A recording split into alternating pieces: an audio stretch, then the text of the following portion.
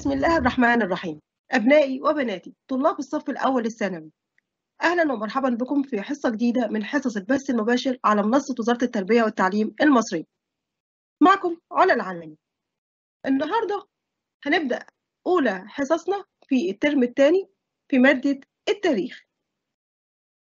وعارفين إن اسم كتابنا مصر والحضارة حضارة مصر والعالم القديم. درسنا الترم الأول حضارة مصر بالكامل في الترم ده هناخد حضارات أخرى من العالم القديم حضارات تتشابه بحد كبير مع الحضارة المصرية وتتميز بصفات أخرى هنتعرف عليها هندرس الوحدة الثالثة اللي هي إحنا طبعا درسنا الوحدة الأولى والثانية كانت عن الوحدة الأولى في الترم الأول كانت بتتكلم عن الحضارة والتاريخ. والوحدة الثانية كانت بتتكلم عن الحضارة المصرية. في الترم الثاني بناخد وحدتين برضو واحدة ثالثة وواحدة الرابعة. الوحدة الثالثة اسمها حضارة بلاد العراق القديم وحضارة فينيقيا بتتكون من حضارتين زي ما أنتم شايفين كده حضارة بلاد العراق القديم وحضارة فينيقيا. والوحدة الرابعة بندرس فيها أربع دروس الحضارة اليونانية الإغريقية والدرس الثاني مصر تحت حكم البطالمة والحضارة الرومانية ومصر تحت حكم الرومان. ده ببساطة كده شديدة اللي هندرسه في الترم الثاني وحدتين واحدة ثالثة وواحدة الرابعة استكمال للوحدة الأولى والثانية اللي أخدناهم من الترم الأول. تعالوا نبدأ كده ونقول بسم الله. زي ما أنتم شايفين كده وزي ما قلت في بداية ال session إحنا كتابنا اسمه العالم حضارات العالم القديم مصر والعالم القديم. يعني أنا بدرس حضارات العالم القديم. إحنا من خلال الخريطة اللي قدامي دي بتتكلم عن حضارات العالم القديم وسبق أنتوا شفتوها معايا الترم الأول علشان كنت أوضح عليها بعض الحضارات وتواصل الحضارات وانتقالها من مكان إلى آخر وعرفنا فيها حاجات كتير جدا وكان من أهمها التواصل الحضاري بين الحضارات. طيب إحنا هنا من خلال الخريطة دي عاوزة أطلع منها بمهارة أو بمفهوم مهم أثناء دراستنا في الترم الثاني إيه هو المفهوم اللي أنا عايزة أعرفه؟ أنتوا شايفين خريطة عليها حضارات العالم القديم حضارة مصر اللي إحنا درسناها الترم الأول زي ما قلت وهندرس حضارة العراق النهاردة وهنستكملها الحصة القادمة وهندرس حضارة فينيقيا وهندرس كمان الحضارة اليونانية والحضارة الرومانية ووجودهم في مصر. تحت الخريطة دي عندي الخط الزمني أو الخريطة الزمنية. إحنا طبعا متعودين عليه من الترم الأول أبنائي وبناتي اللي بيتابعوني من الترم الأول عارفين إن الخط الزمني أو الخريطة الزمنية مهمة جدا جدا جدا في دراسة التاريخ ومهمة جدا في دراستي أنا حسب النظام الجديد لأنها مهمة جدا وعرفنا إيه أهميتها في الترم السابق. طيب أنا ليه ربطت بين الاتنين دول؟ بين الخريطة الجغرافية وبين الخريطة الزمنية. علشان أطلع بمعلومة مهمة جدا وهي إيه يا أولاد؟ هي إن إحنا أي حضارة في الدنيا أنا بيكون لها بعدين. بعد مكاني وبعد زماني. أي حضارة بدرسها سواء الحضارة المصرية أو العراقية اللي هندرسها النهاردة أو أي حضارة في الدنيا لها بعدين. بعد مكاني وبعد زماني يعني إيه؟ يعني أي حدث في الدنيا أنا بدرسه لازم أول ما أبدأ أدرسه كده وأفهمه إحنا اتفقنا إن إحنا بندرس بالمهارات وبننظم أفكارنا وبنرتبها علشان تبقى الدنيا سهلة معانا أول ما أدرس أول حضارة أقول هي مكانها فين؟ أين تقع؟ ده اللي إحنا بنسميه البعد المكان وكمان بعد ما أعرف هي مكانها فين أعرف زمانها هي بتقع في أي عصر. إحنا درسنا الترم اللي فات العصور التاريخية طبعا عصر ما قبل التاريخ. وبعدين هنبدأ بقى بالعصور التاريخية عندما اخترع الإنسان الكتابة. انقسمت العصور إلى عصور قديمة ووسطى وحديثة وعصور معاصرة. الكلام ده إحنا خدناه من الترم الأول. أنا زي ما قلت لك إن أي حضارة في الدنيا لها بعدين بعد زماني وبعد مكان البعد الزماني المقصود به تقع في أي فترة زمنية. اللي أنا بدرسه ده بيقع في العصر القديم ولا الوسيط ولا الحديث ولا العصور المعاصرة؟ أي حضارات قديمة يبقى أكيد تقع فين يا أولاد في العصور القديم. يبقى أنا كده لما بدرس الحضارة دي بعرف مكانها. أين تقع؟ آه أنا النهاردة هدرس حضارة بلاد العراق القديم أو حضارة بلاد الرافدين. هندرس دلوقتي الموقع بتاعها بالتفصيل. وأعرف هي مكانها فين. طيب هي بتقع في أي زمن؟ في العصور القديمة ولا الوسطى والحديثة والمعاصرة؟ لا هي بتقع في العصور القديمة. الله هو أنا درست حضارة قبل كده قديمة؟ أيوه. إحنا درسنا الترم السابق الحضارة المصرية القديمة. بتقع في هذا العصر. اللي هي اللي إحنا بنسميها العصور القديمة أو عصر اختراع الكتاب. وبعد كده هندرس فينيقيا. برضو هنكتشف إن فينيقيا تقع برضو في العصور القديمة. تمام؟ طيب وهندرس بعد كده برضو اليوناني والروماني وهنعرف برضو إنها تقع في العصور القديمة. يبقى أول حاجة عايزة أعرفها كده نبدأ بالورقة والقلم معايا كده ابنائي وبناتي المتعودين معايا على الشغل بالورقة والقلم. إن أنا أول حاجة لازم أحددها البعد الزماني والبعد المكاني. تعال نكمل. حضارة بلاد العراق. إحنا متعودين أول أو أي حضارة أو أي درس بدرسه لازم أشوف في ال PDF الموجود عندي الموجود عندي على tab أو على موقع الوزارة أشوف الأهداف أو النواتج اللي موجودة في بداية كل درس علشان أعرف أحدد أنا مطلوب أفهم إيه المفروض أعرف إيه. النواتج دي يا أولاد أو الأهداف دي الموجودة في كل درس مهمة جدا إن أنا أطلع عليها قبل ما أبدأ أشتغل وقبل وقبل ما أبدأ أذاكر. الأهداف دي مهمة جدا أبدأ أقرأها عشان أعرف أنا المطلوب منها إيه. يعني مثلا في نهاية الدرس بيتوقع مني إن أنا أحدد الخصائص الرئيسية لحضارة بلاد العراق. أعرف إيه هي خصائص بلاد العراق؟ وأفسر أسباب ازدهار الحضارة. ما هي؟ مدام حضارة أكيد كان لها فترات ازدهار. وأحدد على الخريطة الزمنية اللي إحنا كنا شفنا كده خريطة زمنية شبهها كده الترم اللي فات اللي إحنا شفناها دلوقتي العصور القديمة. هنتعرف برضه هنعمل خريطة زمنية لبلاد العراق. وأحدد عليها المراحل أو العصور التاريخية المختلفة لبلاد العراق. وأحلل أهم المظاهر السياسية والاقتصادية. دي لما أجي أدرس إيه, إيه مظاهر الحضارة. واستخلص الدروس المستفادة من سقوط دولة بابل. إيه دولة بابل دي؟ هتعرف عليها إن شاء الله لما أجي أدرسها. تمام؟ وعندي يقدر دور حمورابي. الله ده بدأ أسامي شخصيات تظهر عندي كده. يبقى الأسامي دي موجودة في بداية الدرس ومأكد عليها. يبقى الحمورابي ده مهم جدا جدا. وأبدأ وأنا ب... لما يجي سيرته في ال... وأنا بذاكر أبدأ أعرف آه كل حاجة عنه علشان يبقى مهم جدا الشخصية دي اعرفها يجمع معلومات تاريخية ذات صلة بحضارة بلاد العراق. إحنا اتفقنا إن من ضمن المنظومة الجديدة ربط المعلومة داخل الكتاب أو ربط المعلومة بحاجة موجودة إحنا بنعيشها حاليا. تمام؟ أكتب تقرير عن أهم معالم حضارة بلاد العراق القديم. أتعرف عن مظاهر حضارة بلاد العراق القديم. وأقدر دور حضارة بلاد العراق القديم بالنسبة للحضارات الأخرى. أعرف فضلها أو تأثيرها وتأثرها. مش إحنا درسنا الترم السابق إن الحضارات تتأثر وتؤثر لها تأثير ولها تأثر لها أخذ وعطاء.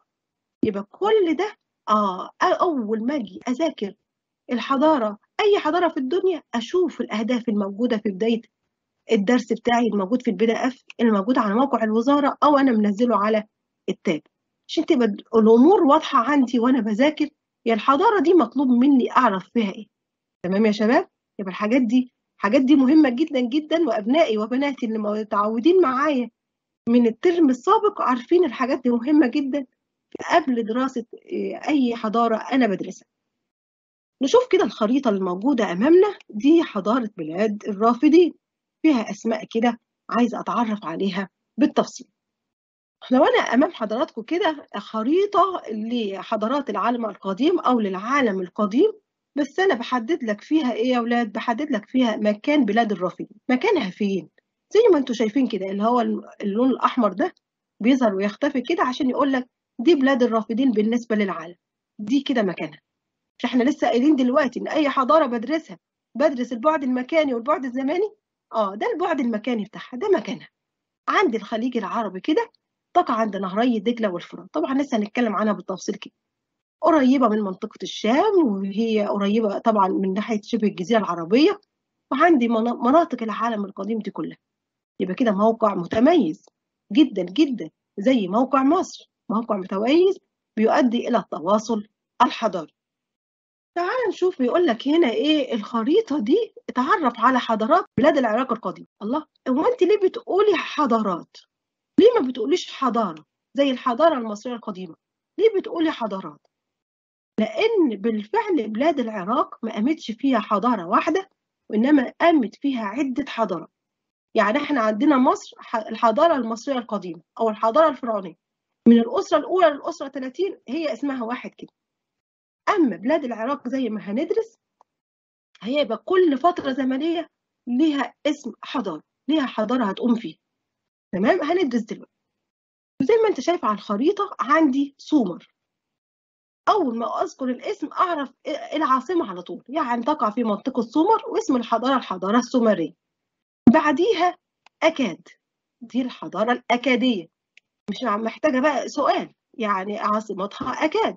بعد كده عندي بابل طبعا القديمة والحديثة زي ما هندرس دلوقتي وعندي أشور يبقى قامت في بلاد العراق عدة حضارات زي حضارة سومر دي أول وأقدم حضارة في بلاد العراق وحضارة أكاد ثم بابل القديمة والحديثة وحضارة أشور.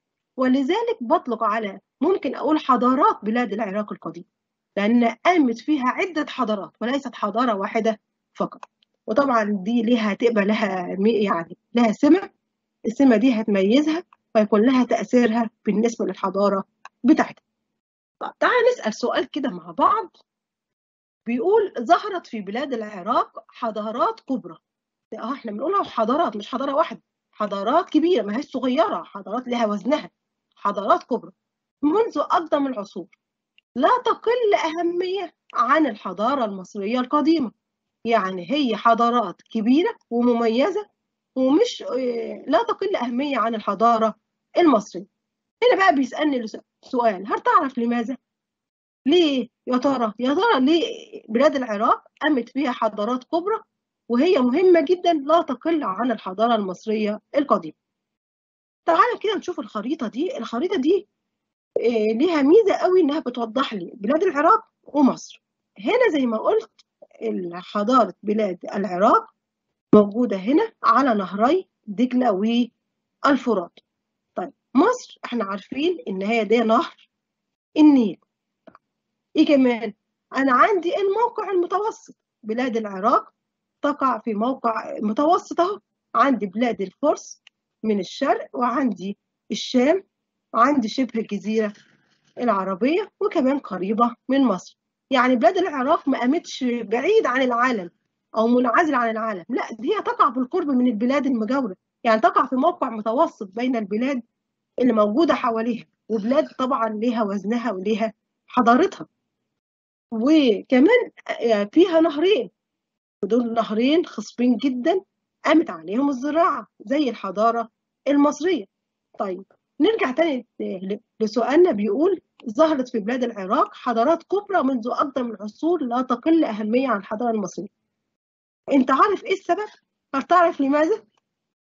كده نشوف هجيب لك نفس الخريطة دي جبتها لك تاني وعملت صورة تكوينية كده حطيتها على الجنبين كده علشان نقدر نشوف دي صورة تكوينية يعني أو صورة تخيلية لبلاد العراق القديم النهرين بتوعها كده ودي مثلا آثار عن حدائق بابل المعلقة اللي إحنا هندرسها إن شاء الله السنة دي قصدي الترم ده. ودي حضارة كيمت أو حضارة مصر الحالية برضو صورة تكوينية. وده برضو نهر أهو ودي السفن ماشية فيه. كل ده بيديني إيه يا أولاد؟ مؤشرات للإجابة عشان أعرف إن أهمية أو أهم ما سبب لقيام حضارة كبيرة في مصر وحضارة كبيرة في العراق كان السبب إيه؟ السهول الخصبة اللي هي لوجود الأنهار اللي بتمر فيها اللون الأخضر ده بيشير إيه على الخريطة؟ أراضي خصبة زي ما أنتم شايفين كده اللون الأخضر ده أراضي خصبة وهنا عندي في مصر دي السهول يبقى كده عندي أراضي خصبة أدت إلى إيه يا أولاد؟ إلى الاستقرار فاكرين نظرية وولد يورانت؟ وولد يورانت اللي هو قال قصة الحضارة أن الحضارة تقوم عند الاستقرار إحساس الإنسان بالأمن والاستقرار. فيدفع نفسه إلى الابتكار والإنشاء والإبداع. فبالتالي هو وجود الأراضي الخصبة أدت إلى استقرار الإنسان عليها وبالتالي حس بالأمن وتوفر مقومات الحياة فبالتالي قامت حضارة عظيمة. اللي أنا بعمله دلوقتي بنائي وبناتي إن أنا بوريك صور وخرائط ليه؟ لأن أنا في المنظومة الجديدة مطلوب مني التحليل الوثائق وتحليل الصور وتحليل الخرائط ممكن تجيلي خريطة ممكن تجيلي صورة وأبدأ أحلل منها البيانات وأطلب منك استخلاص هذه البيانات أو إيه العلاقة المتشابهة. يبقى أنا عندي لازم إن أنا مش أعتمد فقط على قراءة الكلمات وإنما دايما أتطلع أو أطلع على الخرائط وعلى الصور لأنها من ضمن مهارات المنظومة الجديدة. تعال بقى ناخد الكلام بقى بشكل منظم. ظهرت في بلاد العراق قديما حضارات كبرى منذ أقدم العصور لا تقل أهمية عن الحضارة المصرية. تعال بقى ناخد الكلام لتشابه الظروف بين البلدين. إيه هي الظروف بين البلدين؟ اللي إحنا لسه قايلينها دلوقتي. مصر والعراق بها أنهار جارية وأودية خصبة. شجعت على الزراعة وعلى الاستقرار. الكلام ده إحنا لسه قايلينه دلوقتي وإحنا بنقرأ الصور وبنقرأ الخرائط بنقرأ الصور التكوينية بتاعت مصر والعراق وبنقرأ الخريطة بتاعت مصر والعراق. وجدنا في أنهار نهر النيل في مصر ودجله والفرات في العراق. أدى إلى وجود سهول وأراضي خصبة. طب السهول والأراضي الخصبة خلت الإنسان يستقر يستقر عشان يعرف يزرع. وبالتالي يحصد طيب واحد استقر وزرع ويحصد فحس بالأمان فبالتالي يبدأ يبدع ويفكر وينشئ وتقام حضارة عظيمة تتوارثها الأجيال. يبقى أول سبب عندي لما يجي لي السؤال ده أقول له تشابه الظروف بين البلدين مصر والعراق فيهم أنهار جاريه مصر فيها نهر النيل والعراق فيها دجلة والفرات. دي شجعت على الزراعة والاستقرار تمام؟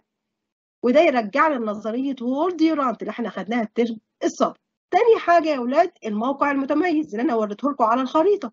قلت لك مصر بتقع إزاي وفي تواصل وإحنا درسناه بالتفصيل الترم السابق وقلت لك برضو العراق تقع في موقع تواصل بينها وبين جيرانها.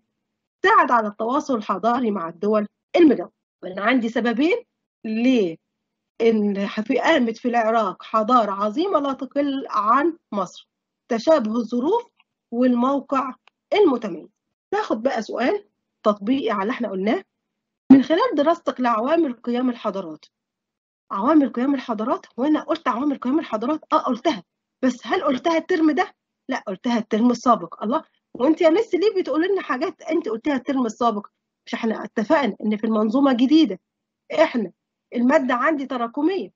ولان بربط بين المعلومة اللي درستها مع المعلومة اللي لسه هدرسها.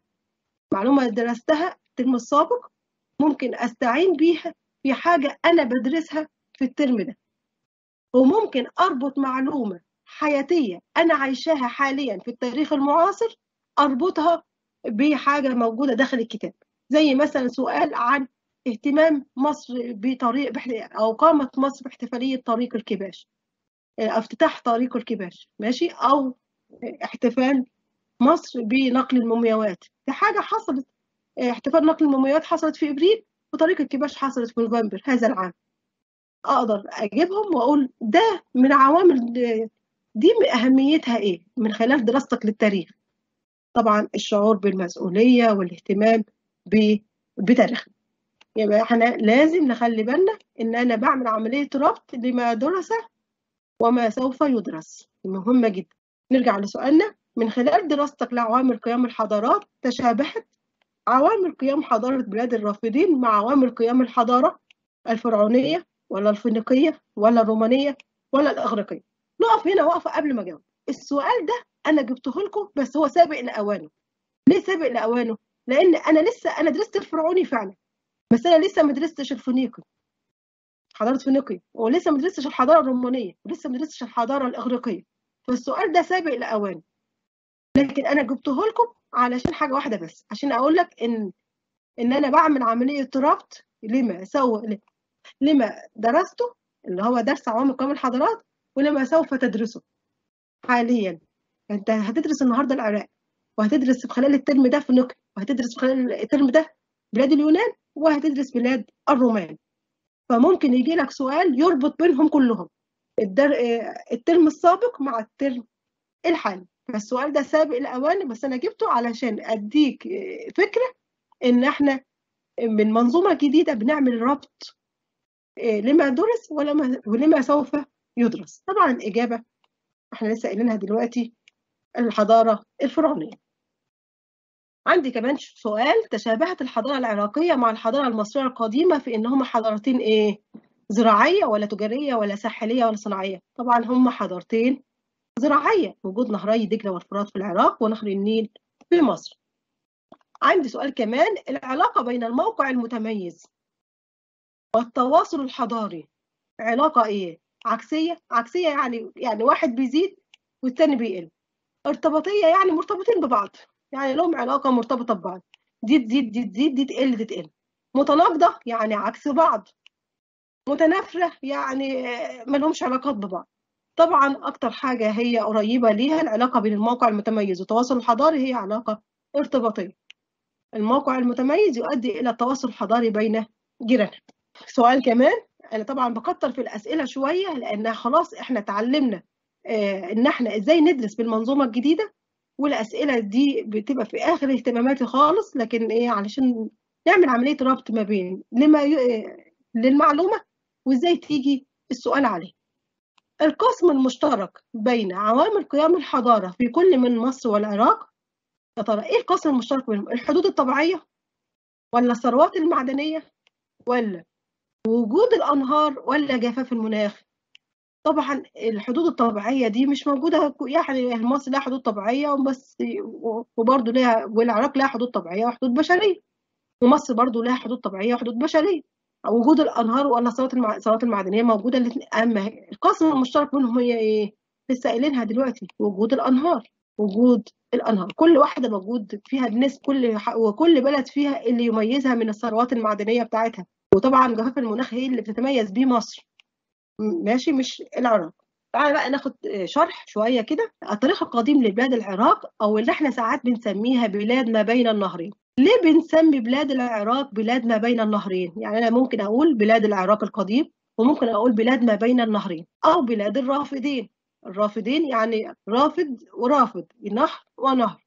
إيه سبب تسمية بلاد العراق القديم ببلاد ما بين النهرين؟ قال يا سيدي اللي دي لوقوعها على الأراضي الواقعة بين نهري دجلة والفرات زي ما أنتم شايفين كده على في الصورة. الصورة من خلال جوجل ايرث كده لقيتها صورة جوية كده للنهرين اللي دي دجلة وده الفرات. ودي الأراضي الخصبة اللي موجودة بينهم لوقوعها على الأراضي الواقعة بين نهري دجلة والفرات. وتتألف من سهل منبسط في الجنوب يرتفع تدريجيا نحو الشمال. يعني السهل منبسط في الجنوب ويبدأ يرتفع يرتفع يرتفع نحو الشمال. ويمتاز بخصوبة التربة وانتشار الزراعة. يبقى هنا إيه سبب تسمية بلاد العراق القديم ببلاد ما بين النهرين أو بلاد الرافدين؟ بلاد ما بين النهرين أو بلاد الرافدين؟ أو حضارة بلاد الرافدين. السبب لأنها بتقع على أراضي واقعة بين نهري نهرين أهو ما بين النهرين نهري دجلة والفرات. وهي عبارة عن سهل منبسط في الجنوب يعني منخفض في الجنوب أو منبسط في الجنوب يبدأ يرتفع بالتدريج نحو الشمال. وطبعا هذا السهل ونهر يبقى أكيد خصوبة التربة وبالتالي انتشار الزراعة. تعال بقى نشوف الحاجة المهمة جدا جدا اللي أنا بأكد عليها من الترم السابق وأبنائي وبناتي اللي متابعينا عارفين إن ده مهم جدا جدا لدراسة التاريخ. هو إيه يا أولاد؟ الخط الزمني أو اللي إحنا بنسميها الخريطة الزمنية. ده الخط الزمني أو الخريطة الزمنية لبلاد العراق القديم. أول حاجة عندي بلاد العراق القديم تبدأ من سنة 4000 قبل الميلاد مع حضارة اسمها الدويلات السومرية من اسمها كده دويلات يعني مش دولة عدد من الدول منها يبقى هل تحققت المركزية؟ هل تحققت الوحدة؟ من اسمها كده أعرف على طول إنها لم تحقق الوحدة ولكن كانت مجموعة من الدول مع بعض طيب من اسمها كمان السومرية يعني تقع عاصمتها سومر أو تقع في منطقة اسمها سومر. تمام؟ طيب. بعد كده عندي حضارة تانية أو دولة تانية اسمها الدولة الأكادية. من اسمها كده برضو إنها دولة. دولة. مهاش دويلات. هنا دويلات يعني مجموعة من الدول الصغيرة منضمة تحت إيه, إيه بلد واحدة أو تحت عاصمة واحدة اللي هي سومر. أما الأكادية أو حضارة أكاد دي دولة. وهنعرف دلوقتي 2350 قبل الميلاد. بعد شوية الدولة البابلية القديمة 1880 قبل الميلاد. وبعدين عندي الحضارة الأشورية أو الدولة الأشورية. إيه بعديها الدولة البابلية الحديثة 604 قبل الميلاد. ثم حصل الغزو اللي هو إيه؟ استيلاء الفرس على العراق 538 قبل الميلاد واستيلاء الإسكندر الأكبر المقدوني على العراق في 330 قبل الميلاد هرجع تاني للسؤال اللي إحنا برضو طرحناه الترم السابق هل التواريخ دي ليها أهمية؟ هل هي موضوع سؤال؟ لا هي مش موضوع سؤال لكن هي مهمة في مدلولها مدلولها إزاي؟ أبنائي وبناتي بقى الشطار اللي عارفين الكلام ده من الترم السابق قولوا لي التواريخ دي مهاش محل سؤال ولا هيجي لك سؤال قامت أمتى الدولة البابلية وسقطت أمتى الدولة السومرية ولا الحاجات دي خالص أمال مدلولها إيه؟ مدلولها أعرف إيه مدى قوة البلد دي؟ قعدت كام سنة من الزمن؟ هل هي قعدت فترة طويلة من الزمن ولا سقطت سريعا؟ إيه مدى قوتها؟ تمام؟ كمان أعرف لما أجي أدرسها بقى بالتفصيل وأعرف أسماء ملوكها وشخصيتها أبدأ أنسبها ليهم عشان لما يجي لي سؤال أعرف الشخصية دي تبع أي عصر تمام؟ وكمان برضو مهمة في مظاهر الحضارة يبقى مدلول الرقم هو اللي مهم عندي مش حفظه بقى ناخد أول حضارة عندي اللي إحنا قلت عليها اسمها إيه يا ولاد؟ الدويلات السومرية. الدويلات. الدويلات السومرية هي أول الشعوب التاريخية اللي سكنت بلاد العراق زي ما قلت في 4000 قبل الميلاد. زي ما أنت شايف كده دي سومر تقع هنا أهو كده.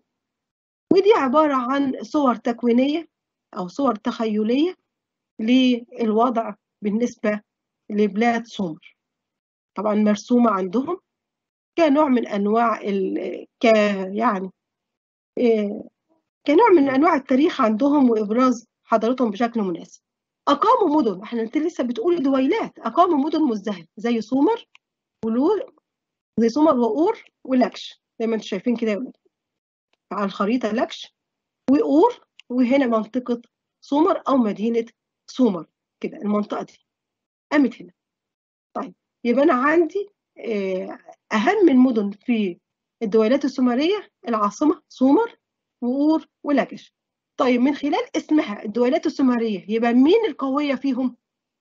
أور ولا لكش؟ طبعا هي سومر لأنها سمت باسمها يبقى العاصمة أو المدينة القوية كانت سومر لأنها سيطرت على أور وسيطرت على لكش طب أنت عرفك إن هي كانت قوية وسيطرت عليهم؟ لأنها اتسمت باسمها الدويلات السومرية كانوا بمثابة دويلات مستقلة تمتعت بالاستقرار والأمن آه نقف هنا بقى عند الحتة دي تمتعت بالاستقرار والأمن استقرار والأمن يعني تحققت فيها نظرية وول ديورانت اللي بيقول إن الحضارة تقام عندما يشعر الإنسان بالاستقرار وبالأمن والأمان فتتطلع نفسه إلى إلى إيه؟ الإبداع والإنشاء والابتكار فتقام أعظم حضارات العالم. طيب وبالتالي كانت من أهم أو أولى أو أقدم الحضارات اللي قامت في بلاد العراق. طب هل استمر الوضع كتير؟ لا ما استمرش. تفرقوا نتيجة الحروب اللي دارت بينهم ولذلك الصور التكوينية زي ما أنتم شايفين فيها شكل حروب وناس بتحارب الحاجات دي كلها يعني الموضوع كان فيه استقرار وفي حرب في تناقض فاكرين لما كنا بنقول التناقض اللي بيحصل بيه في الفترات الزمنية عندي هنا استقرار وعندي في الأول بدايتها كانت في استقرار ولكن نهايتها كانت فيها فرقة وفوضى نتيجة الحروب النزاعات الداخلية اللي حصلت. تعال نسأل سؤال. سقطت أقدم دول العراق القديم نتيجة أقدم دول العراق؟ أنت ما جبتيش سيرة سومر لكن لازم أعرف إن مين أول الشعوب التاريخية؟ الدويلات السومرية. فبالتالي الدويلات السومرية أعمل كده بين قوسين أقدم دول العراق القديم أو أقدم حضارات العراق القديم لأنها أول حضارة قامت في بلاد العراق قامت سنة 4000 قبل الميلاد. سقطت نتيجة إيه؟ ضعفها اقتصاديا. محدش قال الكلام ده. الغزو الأجنبي ما سمعناش. تعدد المعبودات. ما قلتش أنا الكلام ده. وإنما نتيجة إيه؟ سياستها الداخلية.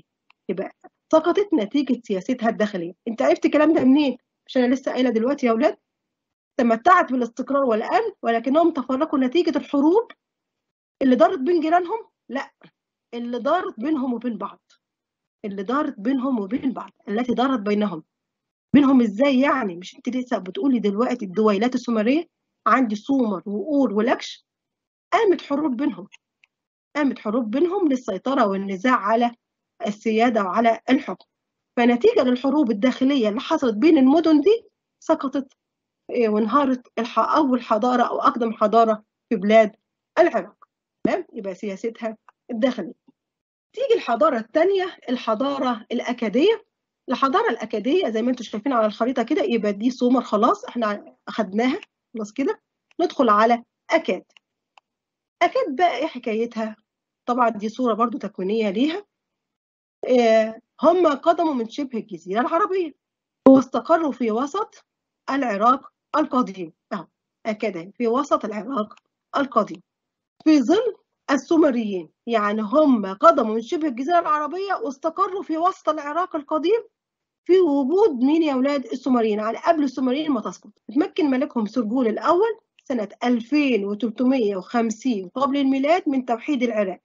في مملكة متحدة عاصمتها إيه؟ أكاد. طب نقف عندها بقى. سرجون الأول ده أول شخصية هنسمع عنها دلوقتي. يبقى أول شخص أنا اتكلمت عنه دلوقتي في العراق واحد اسمه سرجون الأول. نكتبه كده على جنب كده. أول اسم أنا قلته من بداية السيشن اسم سرجون الأول. مين سرجون الأول ده؟ هو تمكن من توحيد العراق في مملكة متحدة. ده بيفكرنا بمين يا ولاد؟ لو أنا عملت ربط هناك علاقة أو ارتباط بين سرجون الأول في العراق كده في الدولة الأكادية. وبين مين أنا درسته في مصر؟ مين اللي وحد مصر؟ أول من وحد مصر. مم. أنا كان عندي الوحدة الأولى في مصر اللي هي مملكة الدلتا. وبعدين الوحدة الثانية الوحدة التاريخية الثانية كان في عهد الملك مين؟ مينا. في عهد الملك مينا. يبقى أنا ممكن أعمل ربط ما بين سرجون الأول وبين مينا أو نعرمر ده وحد وده وحد. هنا عمل العاصمة منف الملك نعرمر أو مينا وسرجون عمل برضو وحدة وكانت عاصمتها أكاد. لكن طبعا خلفاء الملك مينا كانوا أقوياء واستمرت البلد واستمرت الحضارة قوية. ولكن للأسف سرجون بعد وفاته حكم أربع حكام أقوياء ولكنها ضعفت الدولة وانهارت وقامت دولة جديدة اسمها دولة بابل. زي ما أنتم ملاحظين إيه يا ولاد؟ ملاحظين ان الحضارة تقام ثم تسقط ثم تقام حضارة تانية باسم تاني في مكان تاني. لكن ده ما حصلش في مصر. مصر قامت حضارة على نهر النيل العاصمة كانت بتتغير لكن اسم مصر لم يتغير. حضارة مصر القديمة الحضارة الفرعونية لم يتغير عبر التاريخ. لكن هنا في مصر لكن هنا في العراق حضارة تقام وحضارة تسقط والمكان بيتغير واسم الحضارة بيتغير. يبقى إحنا عشان نعرف في الآخر خالص نجيب وجه شبه وجه الاختلاف. يبقى كده الحضارة الأكاديمية.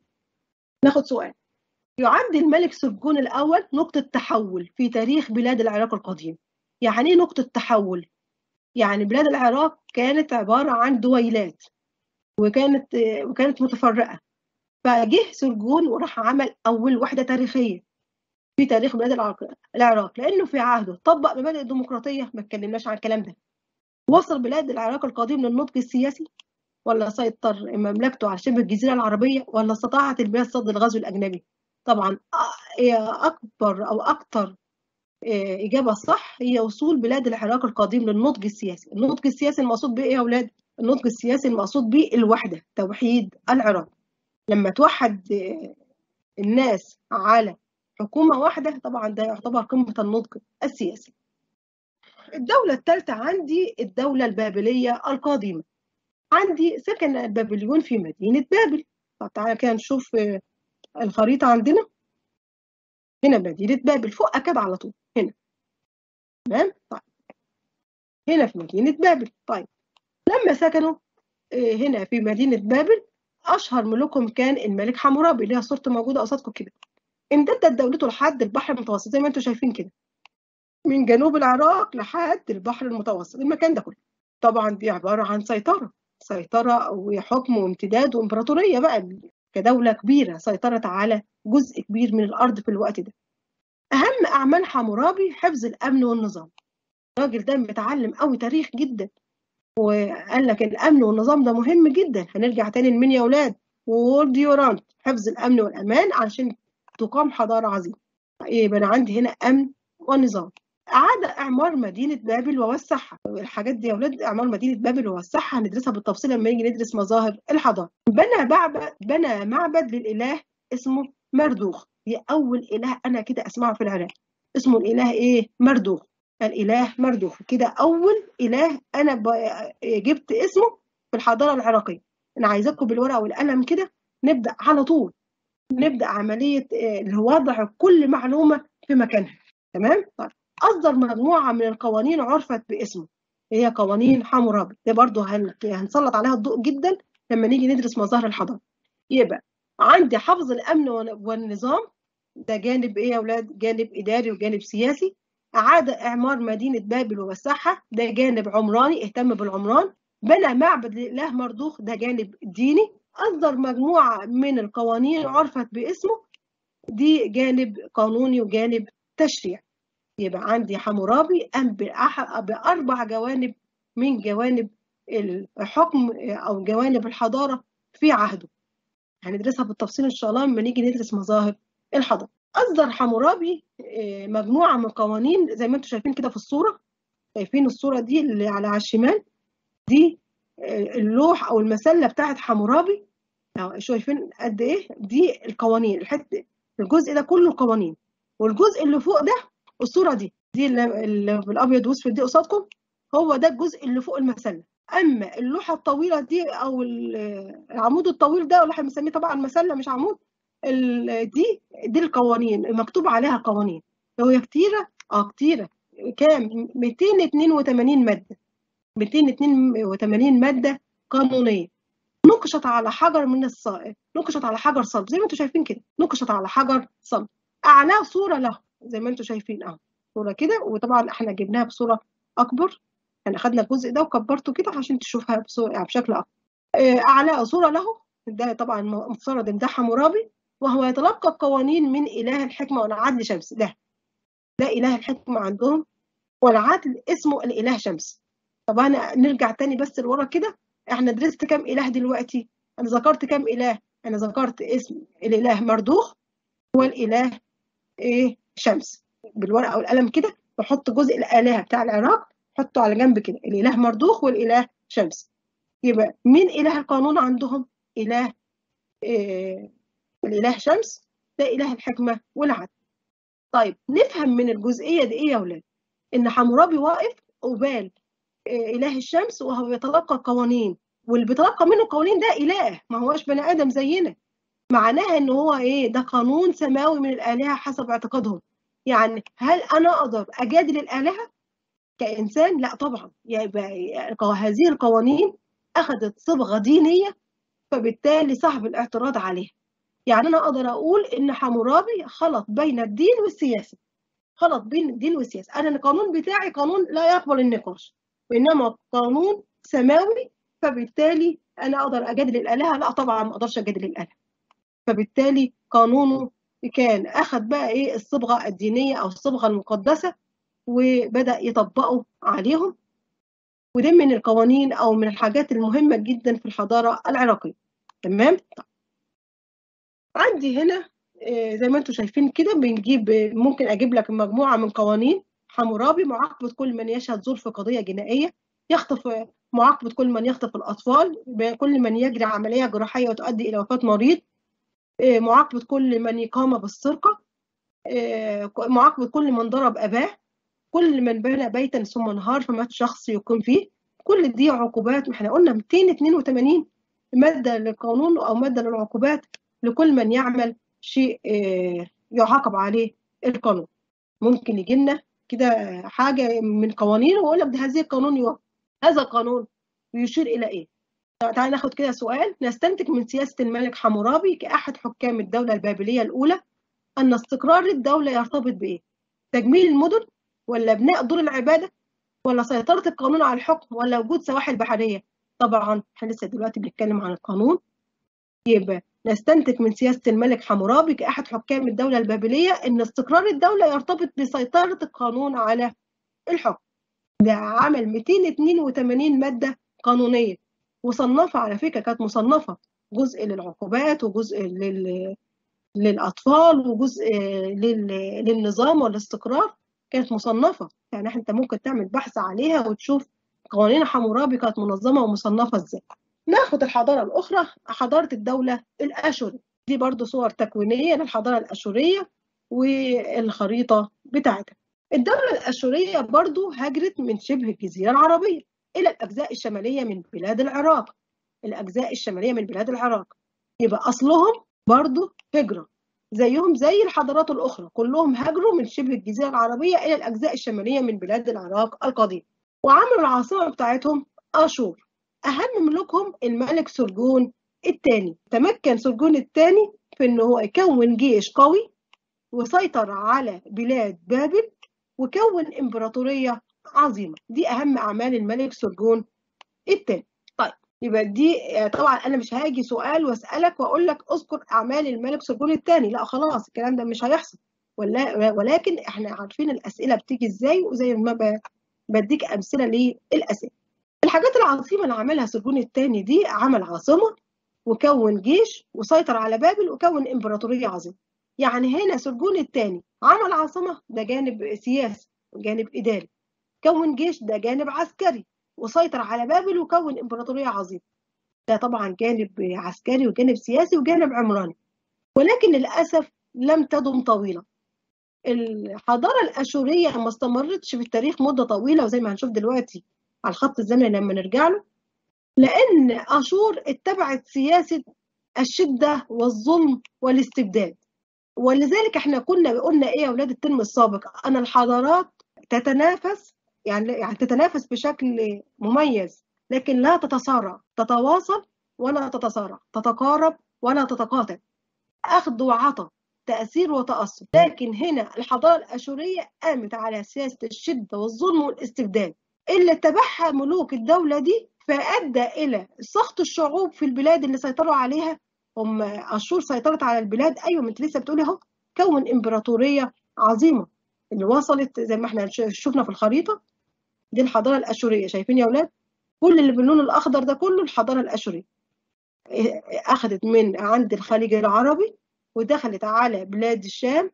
اخذت سيطرت على بلاد العراق وسيطرت على بلاد الشام وكمان سيطرت على مصر في العصر المتأخر. سيطرت على مصر في العصر المتأخر. إحنا درسنا ده في العصر في الحضارة المصرية القديمة وعرفنا إن في العصر المتأخر كان في احتلالات لشعوب مختلفة. كان من ضمنها الفرس ومن ضمنها الأشوريين والحاجات دي كلها.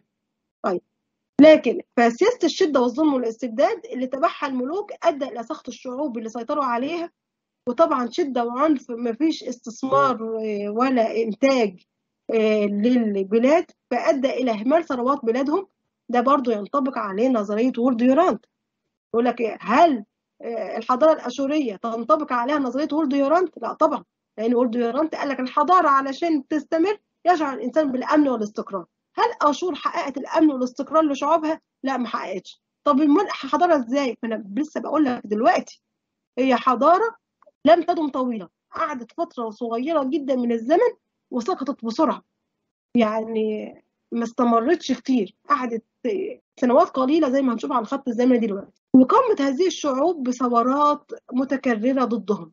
أدت في الآخر إلى انهيار دولتهم يعني الشعوب مش هتستحمل. لو استحملتك النهارده مش هتستحملك بكرة.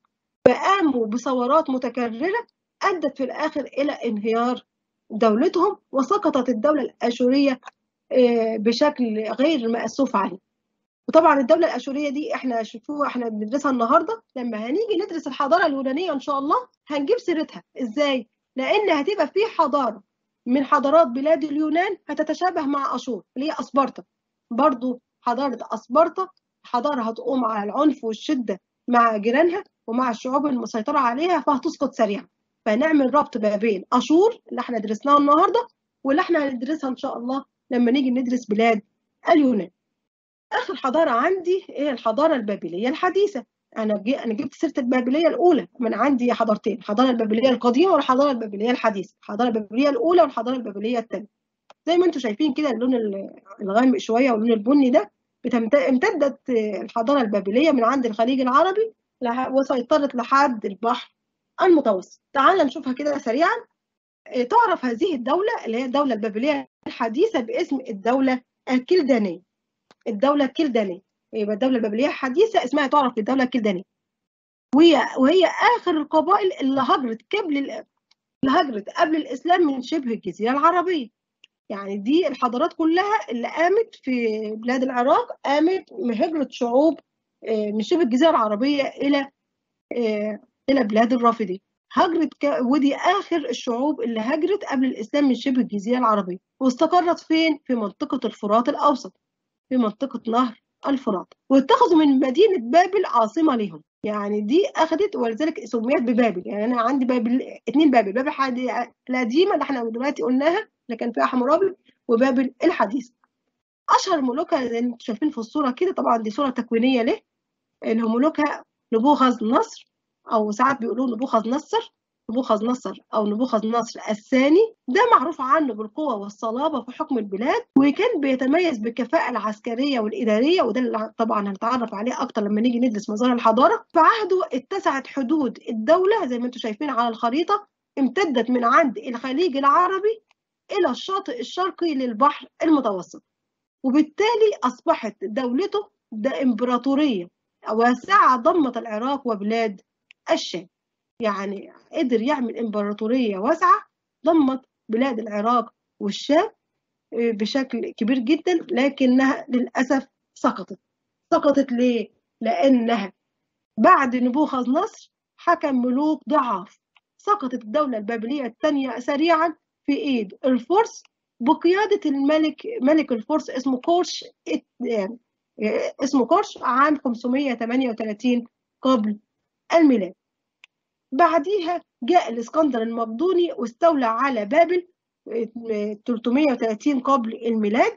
وبعد وفاة الإسكندر إحنا هنعرف إن شاء الله إن هي هتتقسم إمبراطورية الإسكندر وهتكون العراق من نصيب السلوقيين هيحكمها السلوقيين أحد قواد أو سليوكس أحد قواد الإسكندر الأكبر وهتسمى باسم السلوقيين ثم هيجوا الرومان ويحتلوها. بعد كده هتعود مرة أخرى للفرس. وهتستمر في إيد الفرس لحد ما يجي الفتح العربي الإسلامي للعراق سنة 632 ميلادية ويدخل العراق في حضارة جديدة هي حضارة العهد الإسلامي. دي بقى مرحلة الاحتلال الأجنبي أو الاحتلال لبلاد العراق. هيبدأ على إيد الفرس ثم الإسكندر ثم السلوقيين ثم الرومان ثم الفرس مرة أخرى لحد ما يجي الفتح العربي الإسلامي سنة 632 ميلادي كده ببساطة الحضارات الخمسة الموجودة في العراق القديم. إحنا درسناهم بالتفصيل وهنعرف إزاي نذاكرهم ونرتب أفكارهم.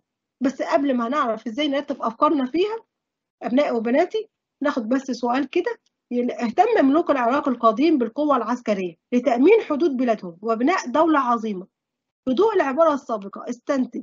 كانت الخدمة العسكرية في عهد الملك حمورابي إلزامية ولا قاصرة ولا إلزامية وقت الحرب ولا تطوعية وقت الحرب؟ طبعا ده سؤال سابق لأوانه سابق لأوانه. ليه؟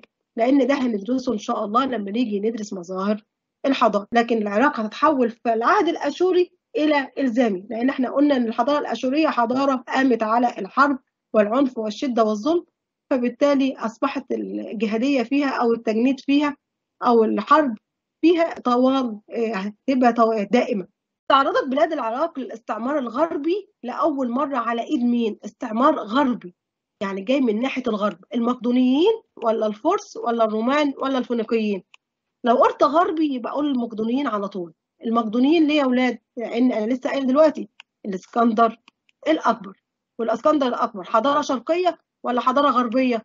لا طبعا حضارة غربية اللي هي حضارة اليونان والرومان لكن لو قلت شرقي هيبقى هقول الفرس. العراق القديم في أواخر تاريخه منطقة لتبادل النفوذ السياسي والعسكري لتبادل النفوذ السياسي والعسكري. في عهد السلوقيين والرومان ولا الفرس والسلوقيين ولا الرومان والفرس ولا الرومان والإغريق. تبادل النفوذ السياسي والعسكري عشان الرومان احتلوها ثم عادت مرة أخرى في إيد الفرس اعتبرت التجارة مع بلاد الشام تجارة خارجية للعراق القديم في عهد طبعا لما نيجي ندرس مظاهر الحضارة. نرجع كده سريعا عشان نختم حصتنا النهاردة. هنرجع تاني يا شباب بعد ما درسنا إحنا الحضارة بتاعتنا الحضارات بلاد العراق. هنرجع كده للخط الزمني بتاعنا ونشوفوا التواريخ بتاعته علشان نعرف مدلول الرقم زي ما قلت إن كل حضارة قعدت كام سنة. وهل هي قوية ولا ولا هي سيطرت مدة طويلة ولا قعدت مدة وعدت؟ هنيجي نرسم الخط الزمني بتاعنا ونكتب أهم الأحداث اللي حصلت زي ما أنتم شايفين كده ممكن نعمل screenshot وتحتفظ بيها أو أنت تعملها بنفسك ترسم الخط الزمني وأنا شرح لي دلوقتي الحضارات تبدأ تحط أهم الأحداث اللي حصلت هنا الدولات السومرية كان أول الشعوب الدولة الأكادية قدموا من شبه الجزيرة العربية وتبدأ أنت إيه تحط أهم الأحداث على الخط الزمني بتاعتك لأن حضارات بلاد العراق ما هيش حضارات. كل حضارة فيها سرد كبير انما. يعني فيها كلام بسيط تقدر تحطه على الخط الزمني عشان تنظمه تبدأ تعمل ربط علاقات لما يجي لك سؤال. زي ما أنتم شايفين كده الخط الزمني بتاعي أنا طلعت مدلول الرقم بتاعه الحضارة السومرية 1650 سنة الحضارة الاكاديه قعدت 470 سنة يعني سومر مع أكاد حوالي 1000 سنة. الدولة البابليه الأولى حوالي 780 الأشورية ما قعدتش مدة طويلة 400 الدولة البابليه حديثة شايفين دي مدلول الرقم طبعا أنت مش مطالب بيها لكن عشان تعرف مدى قوة الحضارة. برضو تقدر تعمل screenshot هنا وتقدر أو أنت تعمله بنفسك كل حضارة تحطها كده وتبدأ تحط أسماء الملوك بتاعتها. الحقيقة السومرية ما كانش عندي اسم ملك الأكادية عندي سرجون الأول البابلية القديمة عندي حمورابي الأشورية عندي سرجون الثاني البابلية الحديثة نبوخذ نصر. الفرس ذكرت اسم كورش اسكندر المقدوني أو عصر المقدونيين كان الاسكندر السلوقيين طبعا سليوك هنا الرومان والفرس والفتح العربي ما ذكرش أسماء. يبقى دي أسماء الشخصيات اللي أنا ذكرتها من أول ال session بتاعنا. ذكرت اسم سرجون الأول ده تبع الحضارة الاكاديه حمورابي تبع البابلية القديمة. الاشوريه سرجون الثاني. نبوخذ نصر أو نبوخذ نصر البابلية الحديثة. كورش الفرس. الإسكندر البطلمي أو الإسكندر المقدوني. ليه أنا بعمل كده يا شباب؟ أنا بعمل كده عشان أنظم أفكاري عشان لما يجي له سؤال أعرف اسم كل ملك أو اسم كل شخصية هي موجودة فين. اسم كل الشخصيه موجودة فين. أبدأ من دلوقتي أنظم أفكاري وأنظم مهاراتي اللي أنا اتعودت عليها من ال term السابق علشان تبقى مذاكرتي مفيدة ومثمرة أثناء ما بشتغل. في الآخر خالص بنكتشف إن أهم الحقب التاريخية أن البلاد العراق القديمة انقسم إلى أربع حقب تاريخية. السومريين والأكاديين والبابليين والآشوريين. أربع حقب تاريخية. إحنا درسنا خمسة. إحنا بنقول أربع حقب تاريخية على أساس إن البابلية عندي قديمة وحديثة. إلى هنا أبنائي وبناتي نكون وصلنا إلى نهاية حصتنا. أول حصة في الترم الثاني عن تاريخ أو حضارات بلاد العراق القديم. والسلام عليكم ورحمة الله وبركاته.